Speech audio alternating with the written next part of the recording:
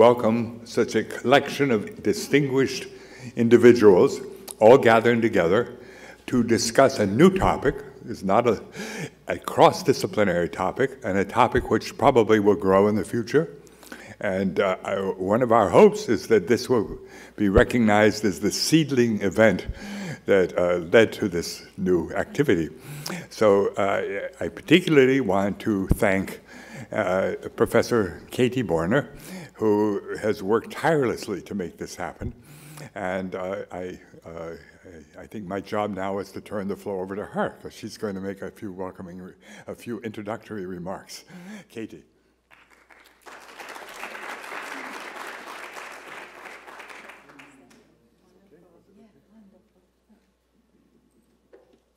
Good morning, ladies and gentlemen. If I could have my slides, that would be great.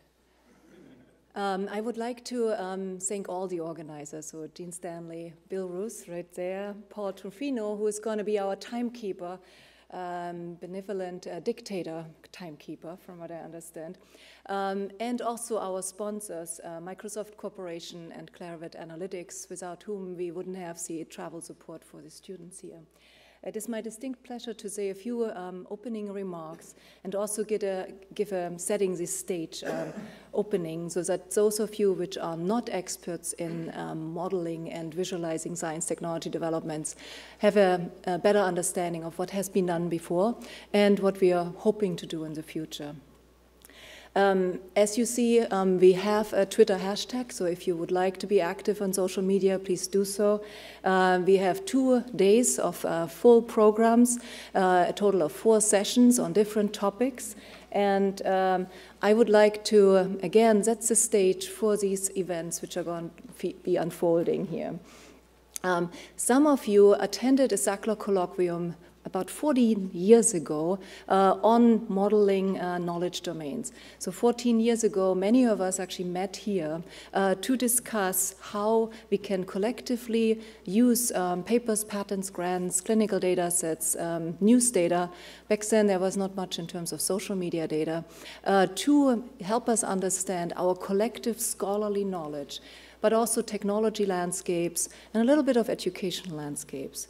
And um, out of the discussions we had here at the Beckman Center, and out of the special issues that resulted from those discussions, um, we created um, new methods and approaches and tools to help many different stakeholders have a better understanding of how science and technology has evolved um, up to today. And we also created a community of um, practitioners and researchers in, in industry, in academia, and in government, which are now applying these tools to do more data-driven decision-making. However, also over the last 10 years, about 10 years, uh, it became more and more clear that mapping the past and the present is only part of what people really need. I think it's also a need to understand what kind of impact certain types of decisions will have.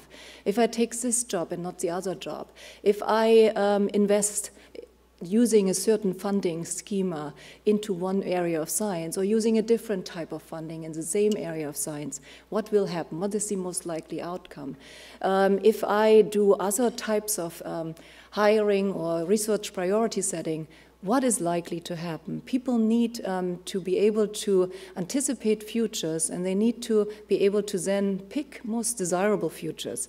And so um, today um, I'm very glad that we are going to start um, this discussion here at the academies to um, understand better what kind of models have been designed so far, what did we learn from those models, and how could we use them better in uh, daily decision making.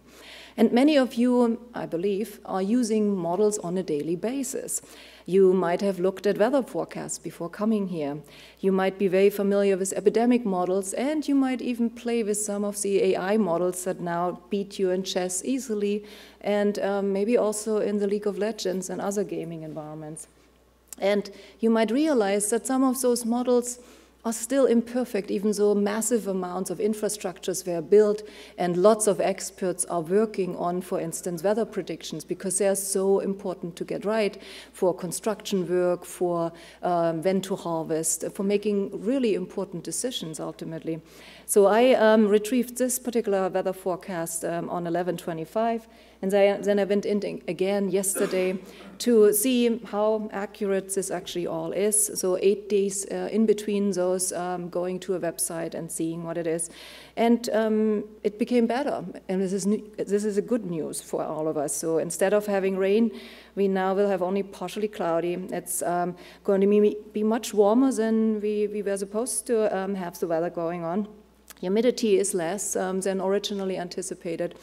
So I think just like this um, demonstration shows that not all models are always correct 100%, it's going to be the same with um, predictions for science technology developments. And most likely it's 80% of normal science that we can predict and 20% of disruptive science that we cannot predict.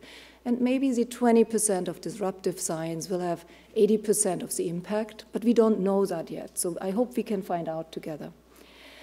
You might also have seen um, predictions of oil depletion over time. This is a map that shows world oil production from 1859 to 2050, so a long-term forecast of what might happen. And this is extremely important to understand for getting us energy resources which are more sustainable um, you might be familiar with seismic hazard maps, and this map is also wonderful for showing that just like you have here some countries which have sensor networks which are very high precision and very densely packed um, into the ground, like for instance in Japan, there are other countries for which we have very, very little data. And similarly in science technology, you will have areas of science which have the resources and the wisdom to have good data resources, and then there are other sciences which have not the means to actually get um, this data exposed to those which would like to analyze and map it. Um, going forward, um, some of you might work on epidemic models. And as you know, um, in former times, epidemics traveled as quickly as one man or woman could walk or ride on a horse or carriage. And they then uh, diffused in waves. Um, first hitting a city on the outer fringes and going to the core of a city and then passing through it, basically. Today, with airport uh, transportation networks, people go from centers of um, urban uh, hubs to other urban cities, and um, the diffusion patterns look very different. So you see them both uh, shown on the top left and on the top right. You might also be aware that uh, seasonal effects, geographical effects, where an epidemic starts, reproductive numbers, and also, of course, interventions have a huge impact on spreading patterns. And to make the analogy to the spreading of scientific ideas, here also it matters when your paper on speed dating in research comes out. If it is right before Valentine's Day, that will probably have it spread much faster and quicker, as opposed to if you bring it out for Sylvester or New Year's Day, then maybe most people are busy with their families and happily not reading papers. So similarly, geographically, it matters where you inject new ideas and products. And some ideas are more infectious than others, but in general, it's believed that you need to be exposed to an idea two, three times before it actually starts spreading. And there are different interventions. So marketing experts now look for super spreaders, people which have extensive networks and the power to diffuse. And they try to make them like their products. Movie stars, for instance, are perfect for that. But of course, um, in some cases, you don't want certain fake news to spread. So how do you prevent this? And again, I think we can learn a lot from models developed for very different domains for um, the domain in which we are working.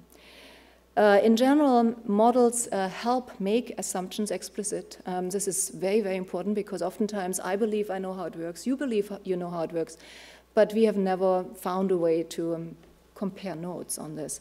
Uh, they describe the structure and dynamics of systems, um, they help communicate and explain these systems, and they suggest possible interventions. Maybe most importantly, they also help you and inspire you to ask new questions. Um, there are many different types of models and modeling approaches. Um, major parts are listed here, um, and I believe many of you are very familiar with um, these models. Um, keep in mind that many of these models are multi-level and multi-perspective. So there might be a perspective from a network point of view, from a geospatial point, from a temporal point. And of course, there are different model types, and I'm kind of intrigued to ask each one of you if you are working on stochastic models or epidemic models or network models or agent-based models, but I don't think we have time here, but hopefully over time we will learn who is working with what kind of model paradigm.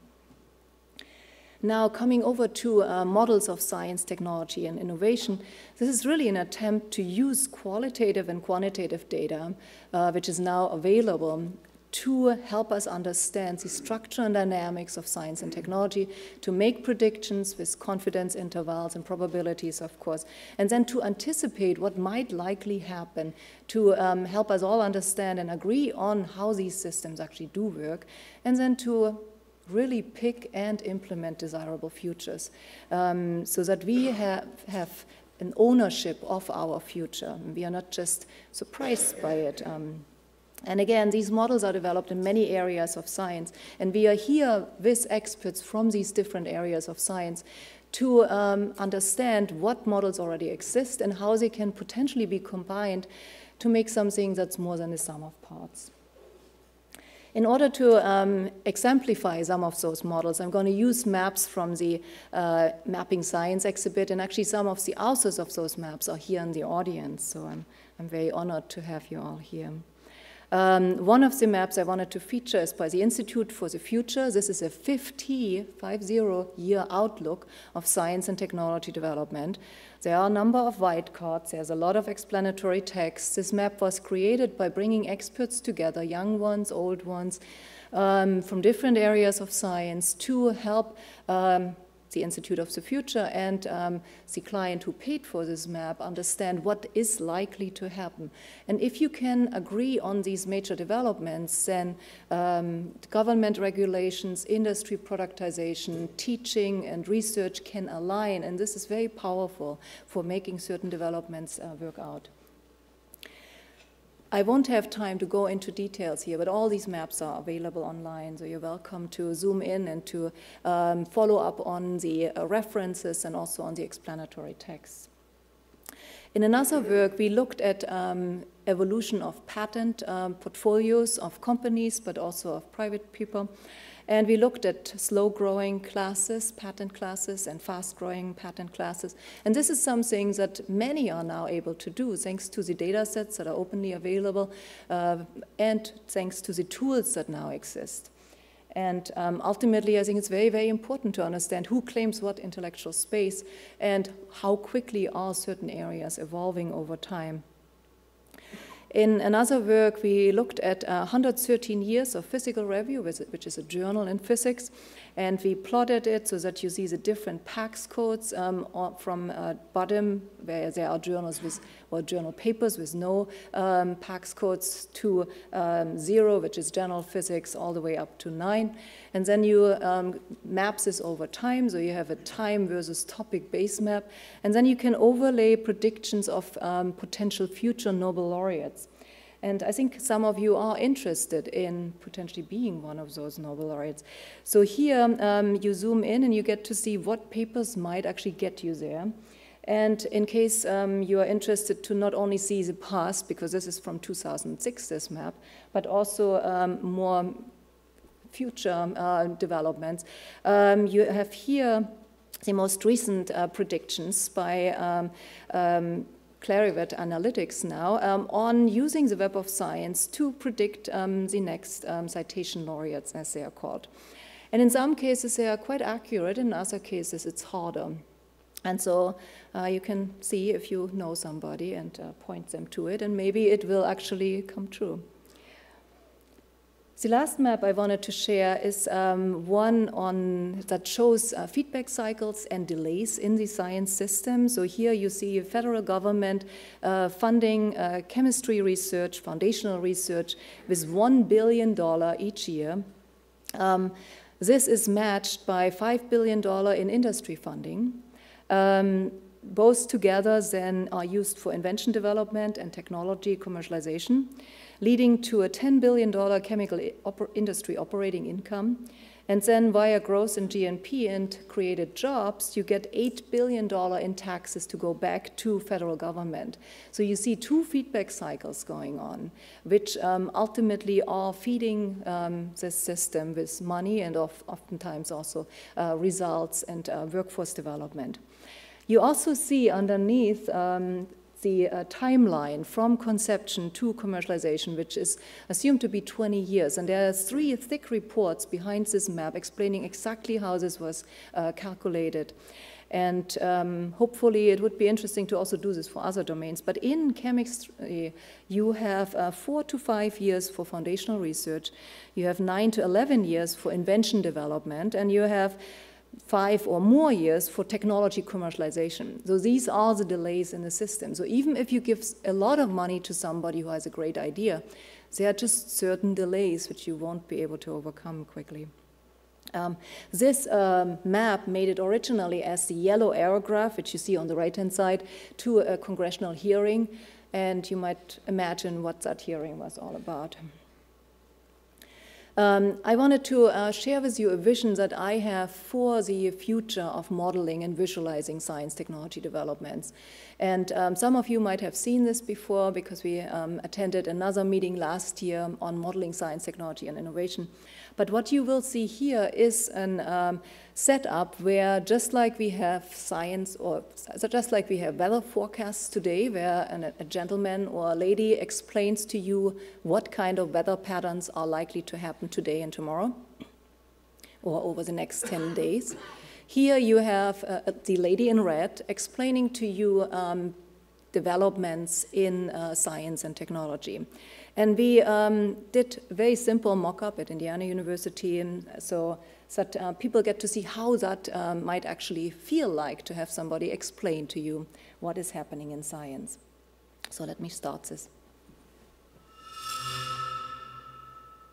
Welcome to Season 1, Episode 1 of Science Forecast, broadcast directly out of Indiana University here in Bloomington, Indiana. Today, we're taking a look at a map of the world overlaid with global scientific collaboration patterns. Every time two researchers collaborate, it creates a link. The more collaboration between these two researchers, the thicker that link becomes. We can see this density in the US, Europe, and Asia. Let's take a deeper look into the United States. We can see this densification along the west coast. A lot of here along the east coast, we have Chicago, and here we are in Bloomington, Indiana. Let's zoom back out, take a look at activity in Europe. Fueled by the European Union and other funding, many researchers are collaborating across countries and across different disciplines, creating a lot of activity here. Let's take a look at a different data set. This time we're looking at Twitter, still looking at Europe. Each dot is a tweet, and the colors represent different languages. We can see in the Netherlands we have light blue for Dutch. Other major urban areas include Paris, London, Madrid, Berlin. A lot of activity in those areas.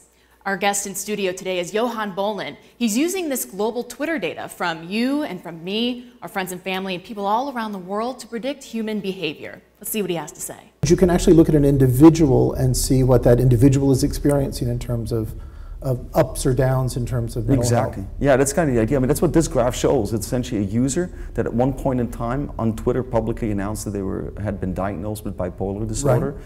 Then our computers picked that up. We took the Twitter handle, downloaded the, all of the tweets that that individual had submitted to Twitter over the past uh, two or three years. And then our computers went to work looking at every single tweet, looking for indications of uh, a particular psychological mood state that was evinced by the wording of that tweet. And then you can chart that over time. You end up with a timeline like this where you can clearly see that this individual went through episodes where their, their mood was a lot more manic and had much greater variance, and then very silent periods where presumably they might have been more depressed. Interesting, isn't it? Maybe one day there'll be an app for all of this. It might change when and what you tweet. This is a map of science where continents are not America, Europe, Asia. Instead, they're disciplines of science. We have math and physics in purple, medical specialties in red, and social sciences in yellow. You can see the overlap between all these different disciplines, and the push and pull is created when new links are generated between the different disciplines. Let's zoom in now on medical specialties. Just heard our guest Johan Bollen talk about mental disease. and it is found in this medical specialties area. Next time on the Science Forecast, we're going to talk about the funding and the research in this area. Stay tuned. Thanks for joining us today.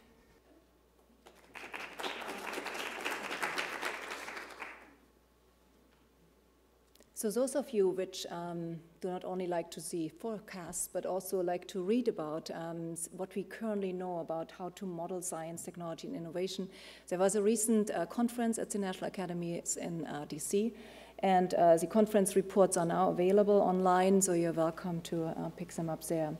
Uh, the last two minutes I wanted to spend on modeling challenges and uh, opportunities. I think we do still need uh, to overcome quite a number of challenges. Um, there, is, there are challenges regarding the model utility. Oftentimes, there are very, very uh, specific and very special models um, that are inspired by one specific need and using one specific data set. Um, usability is a big issue because um, in order to use knowledge that comes out of model predictions, you really want to understand that model deeply. Um, model credibility and validation, very important. Um, extendability and reproducibility. You might have seen that all the presentations from the Sackler colloquium on reproducibility are now available online. So please um, look at those as well. And also model sharing and retrieval. How do you even find a model that has been done on science technology? So these are um, elements that will be discussed also tomorrow afternoon when we talk about infrastructures and uh, data repositories for modeling science and technology. Um, modeling opportunities, again, there are many. We do now have high quality and high coverage interlinked data sets. Many have worked on this and have spent a lot of time cleaning that data. Uh, we now have uh, cost-effective storage and computation, also some uh, financed kindly by NSF, NIH, and, and others. We have many validated and scalable algorithms that can be used, and we have visualization and animation capabilities that can be used to bring those forecasts to many also general audiences. And this brings me back um, to our uh, morning uh, session here. And I will um, give it back to Gene Stanley, who is going to introduce um, our first um, speaker in this session. Do you want to? Yeah.